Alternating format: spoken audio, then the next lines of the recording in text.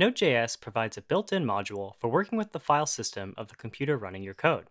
If your program needs to read, write, or otherwise interact with files and directories saved to disk, the FS module is here to help. In this tutorial, we'll explain some of the methods that the FS module provides which allow you to interact with the file system. We'll talk about how the FS module uses relative paths and how to create relative paths safely in order to access files. We'll learn about the synchronous and asynchronous versions of the different methods available in FS. We'll also talk about the new promise-based methods that the FS module exposes. And finally, we'll discuss ephemeral file systems and what that can mean when you're accessing files on disk when running your program. FS is a built-in Node module. We don't need to install it from NPM, you just require it anywhere in a Node.js file. There are a lot of different methods available in the FS module. The most commonly used ones are the following. There's fs.readFile, which will read the data that is contained in a file. There's fs.writeFile, which writes data to a file. Its default behavior is to create the file if the file doesn't exist, or completely overwrite the file if it does exist. appendFile adds data to a file without overwriting the content already in it. It also will create the file if the file doesn't already exist. Fs fs.watchFile is a pretty interesting method. WatchFile watches a file for changes and takes a callback listener, which is called each time the file is accessed. All these methods have different functions and different options that can be passed to them, but one of the main similarities is that they all take a file path as their first argument. Most FS methods have a synchronous version and an asynchronous version. The default is the asynchronous version, which takes a callback. The synchronous versions are marked by adding sync to the name of the method. For example, the asynchronous readFile function has an equivalent synchronous version called readFileSync. The same goes for writefile and writefilesync. Synchronous versions are useful when you want to load data before the rest of your code runs. An example would be loading config data on startup. Most often, you'll want to use the asynchronous version to avoid blocking the main thread of your program. Many FS methods take a file path as their first argument. This can be either an absolute path or a relative path. You've likely used relative paths when loading files with require already. But compared to using relative paths with FS, there's one major difference.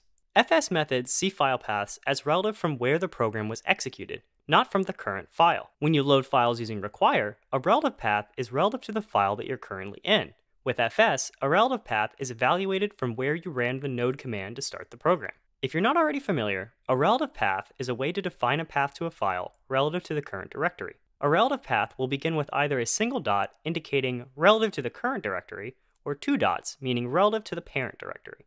To help us specify paths properly, Node.js gives us two very useful tools. First is the keyword underscore underscore dir name, which I call double underscore dir name or dunder dir name for short. This is a special keyword available in every file in Node.js and will expand to the absolute path for the directory the current file is in. The second tool, typically used in combination with name, is the built-in path module. Path is a module that helps us deal with file paths.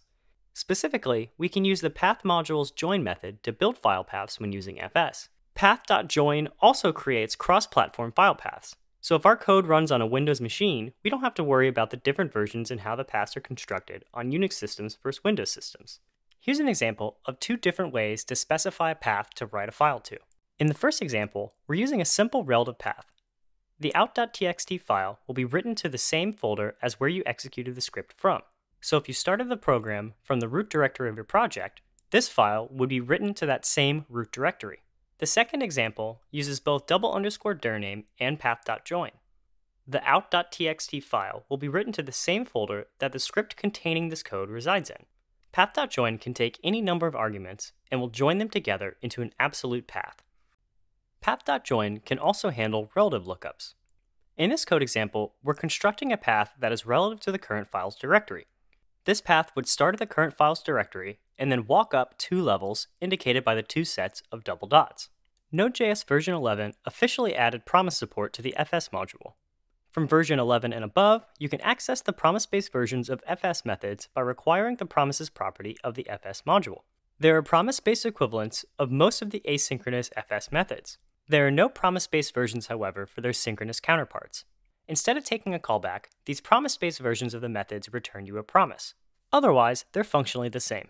fs.promises does not contain everything that is in the regular fs module. Beyond not including the synchronous versions of methods, there are many other parts of fs which are not available from the promises object.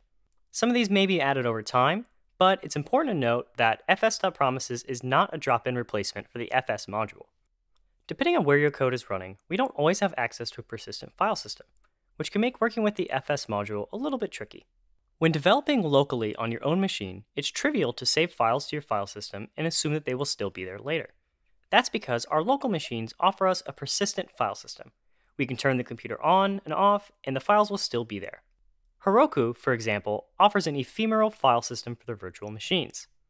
With an ephemeral file system, we're able to write files to the disk, but those files will disappear after the machine powers down.